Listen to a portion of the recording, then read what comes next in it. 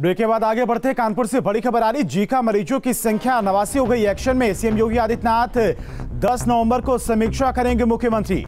तो कानपुर से बड़ी खबर है, जीका वायरस के मरीजों की संख्या लगातार बढ़ती जा रही है। मरीजों की संख्या नवासी पहुँच गई है। अब मुख्यमंत्री योगी आदित्यनाथ भी इसको लेकर एक्शन में आ गए हैं। 10 नवंबर को अधिकारियों के साथ में समीक्षा बैठक भी करेंगे।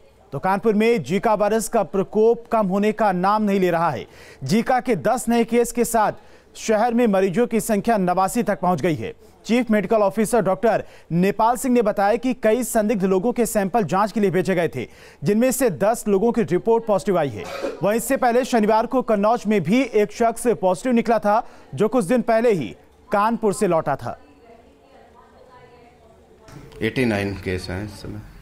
नवासी। वो तो जैसे भी निरोधात्मक एक्टिव चल रही वही सौ टीमें जो है घर घर जाकर सर्वेलांस के कार्य कर रही हैं, जिसमें गर्भवती माताओं की सिम्टोमेटिक की या कोई बाहर से आने वाले व्यक्ति की, जैसे केरल या महाराष्ट्र या इधर कोई विदेश से आया हो, उसकी लाइन लिस्टिंग की जा रही है उनके और कानपुर में बढ़ते जीका वायरस के मद्देनजर सीएम भी चिंतित हैं। 10 नवंबर को सीएम योगी कानपुर के दौरे पर होंगे, जहाँ वो जीका वायरस को लेकर किए जा रहे काम की समीक्षा करेंगे। देखिए रिपोर्ट।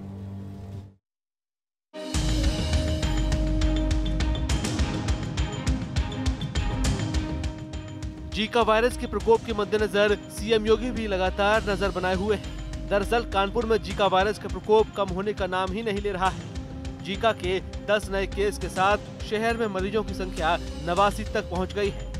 कई संदिग्ध लोगों के सैंपल जाँच के लिए भेजे गए थे जिनमें 10 लोगों की रिपोर्ट पॉजिटिव आई है। 89 केस हैं इस समय। नवासी।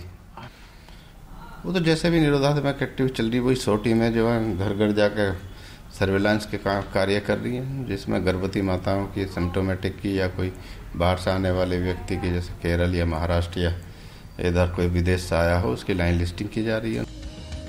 कानपुर में सीएम योगी का कार्यक्रम भी तय हो गया है। 10 नवंबर को मेट्रो ट्रायल को हरी झंडी दिखाने के लिए सीएम कानपुर में होंगे। साथ ही जीका वायरस के बढ़ते प्रकोप के मद्देनजर समीक्षा भी करेंगे। कानपुर से Amit Singh, team, News State.